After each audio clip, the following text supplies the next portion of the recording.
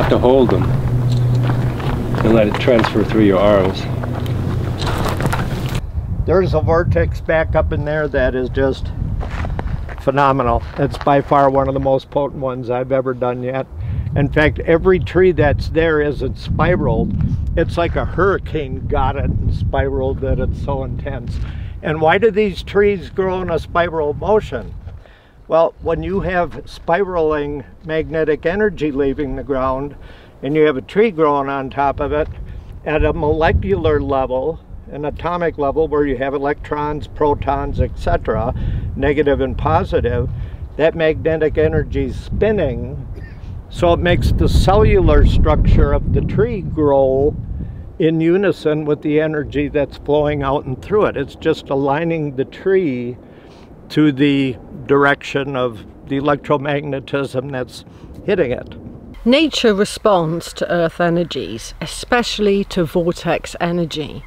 So when you have a look at trees that twist or grow or lean forward, for example, you can bet that there's going to be a vortex present. For example, at Wayland Smithy, which is surrounded by some of the most beautiful beech trees, there's one at the far end that grows in a twisted manner. That's indication of a vortex. Then if we travel to ancient Egypt by Sekhmet's temple, again a, a twisted tree and you get this in Sedona. Behind us are some twisted trees and for years now, for over two decades coming here, I have found more often than not, if you find a juniper tree or any other type of tree that's growing in a twisted manner, the trunk of it, every time I set up at the base of that trunk, I would have intense magnetic activity. And that's what we're doing here today because we have two twisted trees and they're both twisting in the same direction clockwise as they grew. So we have the magnetic sensing system there to test for magnetic vortex energy. And so far, I'm seeing subtle and a few very intense outflowing impulses of magnetic energy. Okay, I'm still calibrating equipment, but look at this huge surge. That is a very intense outflowing surge again. And it's going to go off screens, but I got to finish calibration of the equipment and then start recording. We just saw a very intense magnetic outflow. I call them sudden magnetic out, out impulses. Here's the first one going in a positive direction. That tells me this is an outflowing vortex. If it were going down, it would be an inflowing vortex. And we have it happen twice. This is intense, outflowing magnetic energy emitted from the ground here and here.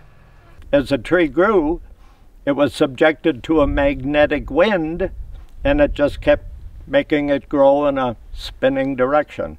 So if you're up in Sedona, or anywhere for that matter, and you see trees that are normally straight, but if you find one that's twisted, spiraling, that's probably a, a, very high magnetic outflow, or as they say up here, a vortex. Do you think that an inflow vortex would be less likely to be able to achieve the twisting Unknown. tree? I don't know. Well, I think if you're in an inflowing vortex, the tree would spin in the opposite direction it would grow spinning in a counterclockwise instead of a clockwise direction. So that's something I've seen here, but I have not validated that theory yet with my equipment, but that'll come. It'll happen. Are you basing that theory on the fact that these are these trees behind you are growing in a clockwise direction yes. and we're seeing that it's an outflow? outflow? Yes. Absolutely. The electrical engineer Ben Lonetree, who we've been working with here in Sedona, talks about the spiraling of trees that are on energy vortex locations. Uh, there are various examples of this, and here is one. Uh, we're on Bell Rock, and here is the trunk of what's quite clearly a tree that's spiraled and spiraled around. And of course, this is a process that takes a long time, you know, perhaps even hundreds of years. So it gradually builds its own form around the shape of the geomagnetic energies. And to find it actually here on one of the most important energy vortex locations in Sedona, I think is very interesting indeed and could therefore be an example of how the energies affect life itself. Some of these um, trees that spiral around are also struck by lightning. Is there a, a Yeah. relationship between Well, the, the energy and lightning? Well, two schools of thought here. Since you have Fe2O3 and you also have concentrations of magnetite rocks ore up here, either the lightning is attracted to that or the lightning is attracted to where a vortex is actually outflowing. And it's very possible because it's all electrical magnetic energy. Even if both the lightning isn't all pure electricity, it also has a magnetic component too. So if you have a vortex putting out energy, it stands to reason that lightning would come down, land in that area, or hit a tree that's growing on that area. As you can see, for the most part, magnetic energy is right along the middle of the graph. Here is some outflowing magnetic energy, and I can make that a little bigger. You can see a nice peak here, and you can see nice outflowing magnetic energy there. And then if we scroll forward, it continued along nice and stable, then it took a dip. That indicates inflowing vortex energy. Then it tries to return to normal up at baseline in the middle of the chart. There's a couple little sudden magnetic impulses. Then it takes a dip. Then it comes back up to outflowing magnetic energy, more outflowing. But then here's more outflowing. But look at the overall chart and the overall activity. The magnetic energy, instead of holding up here on baseline, right down the middle, is taking a huge downward dip. And it gets so much it goes off scale. So I have to change configuration in the chart so we can track it and follow it. So we headed in a downwards motion. Here we tried returning back up to normal. Remember, overall, it's trying to get up here to the middle of the chart. Now this is a very, what they call short wavelength. It's not electrical, it's magnetic, but very short wavelength magnetism and it's going primarily in a, in a positive direction. You have one spike going in a negative direction. Um, I do not see this happen that often, but it was happening by the twisted trees. So it's a very interesting area. Magnetically, as you can see, it's trying to head back up to baseline again. But watch what happens.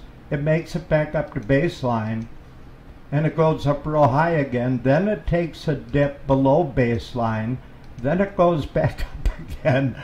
So the energy between the two twisted trees and what the trees have been subjected to while they're growing has been a very unstable magnetic field in the ground in the area they're located. Uh, interesting spot, very interesting. Um, I have to say, when I was in that area, I had to watch my step when I was on a hill because I had a slight sense of vertigo. I had to keep an eye on my balance. And that undoubtedly, more than likely, is due to the very unstable magnetic field between the two twisted trees.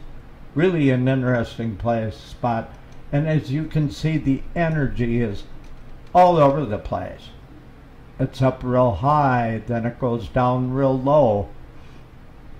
This would almost tell me that because it went below baseline, it became inflowing magnetic energy. And then it went above baseline, becoming outflowing magnetic energy. And like I said, there is a lot going on in the area of the two twisted trees. If you look at this chart recorded at my home where there is no vortex activity, it's relatively flat. Amplitude or signal strength, if you want to call it, it, it it's pretty small and it remains flatline. It's not up, it's not down, there's no magnetic surges, positive direction or negative direction. It's pretty quiet.